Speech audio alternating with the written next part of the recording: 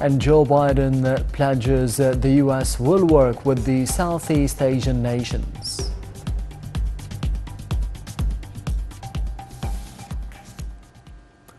Foreign Minister and uh, President of the COP27, Sameh Shoukry, announced the launch of the Egyptian Presidency Initiative for the COP27 conference on the climate change and sustainable peace. Shoukry also met with the American Minister of Agriculture, reviewing a number of uh, files of mutual interest. The details follow. Foreign Minister and President of the COP27 conference, Sameh Shoukry, participated in the launch of the Egyptian Presidency Initiative for the COP27 conference on climate change and sustainable peace. During the event, Shoukry stressed the initiative is the only of its kind that deals with the relationship between climate change and peace in a way that reflects Egypt's constructive efforts in promoting multilateral action.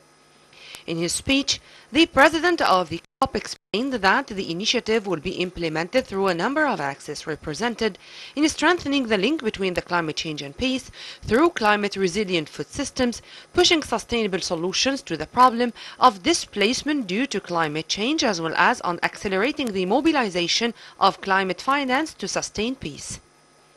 Shoukry also met with the indigenous peoples delegation as the foreign minister stressed on the importance of maintaining the dialogue and exchange of views between COP president and indigenous peoples delegation to ensure that their voices are reflected in the COP outcomes. Meanwhile, Egypt's top diplomat held a meeting with the American Minister of Agriculture, Thomas Vilsack, in which he stressed the importance of agriculture to achieve food security, which is witnessing a global crisis in the light of the Russian-Ukrainian conflict, as well as the negative repercussions of climate change.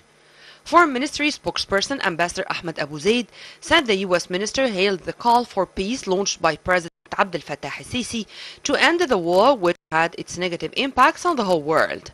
For his part, Shoukry praised the strategic cooperation between Egypt and the United States, hailing bilateral technical cooperation in the field of organic agriculture.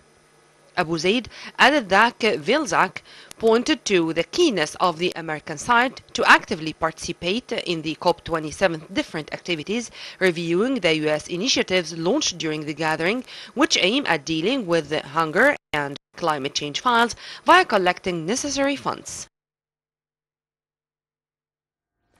Meanwhile, the special uh, U.S. envoy for climate John Kerry said that a number of partnerships were announced in Sharm el-Sheikh to support the international and the regional climate action as part of the ongoing COP27 conference. The details. The U.S. Special Climate Envoy John Kerry said on Saturday that a few countries have resisted mentioning the global goal of limiting warming to 1.5 degrees Celsius in the official text of the COP27 summit in Egypt. He added that Egypt does not intend to be the country that hosts the retreat from what was achieved in Glasgow, referring to last year's COP summit in Scotland. World governments agreed in 2015 during a UN summit in France to try to limit the average global temperature increase to 1.5 degrees Celsius, a deal dubbed the Paris Agreement that was seen as a breakthrough in the international climate ambition. Greenhouse gas emissions have been rising ever since, however, and the scientists say that the world risks missing the target without swift and deep cuts. Breaching the 1.5 degrees Celsius threshold risks unleashing the worst consequences of the global warming.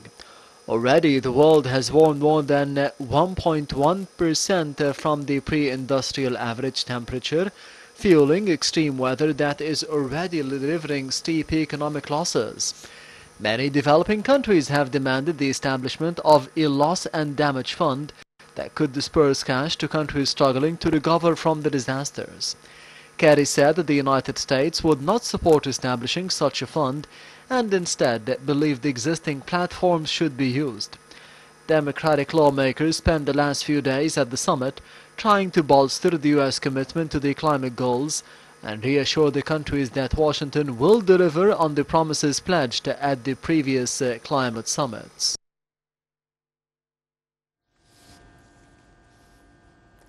Within the activities of the COP27 climate conference, the Adaptation and the Agriculture Day, the Minister of Environment, the Ministerial Coordinator and the Envoy of the COP27, Yasmin Fuad, participated in the opening session of the day entitled Adaptation, Agriculture and Food Security.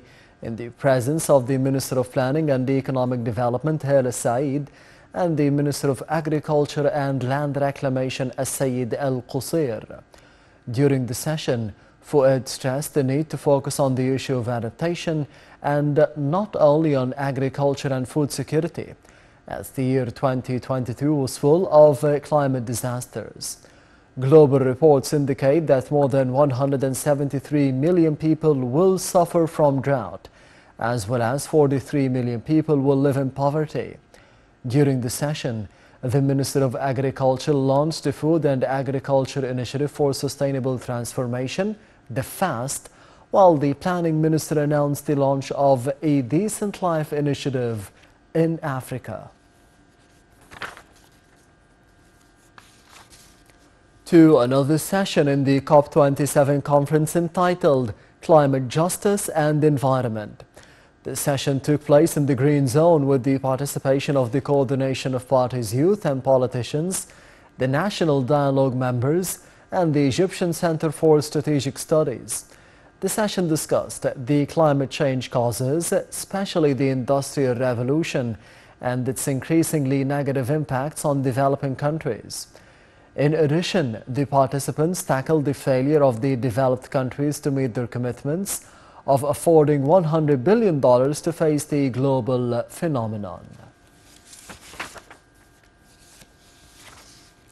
And still with the COP27 activities, an initiative led by the United States and the United Arab Emirates to help agriculture adapt to the climate change and reduce the emissions through innovation has doubled the investment commitments to $8 billion and extended its reach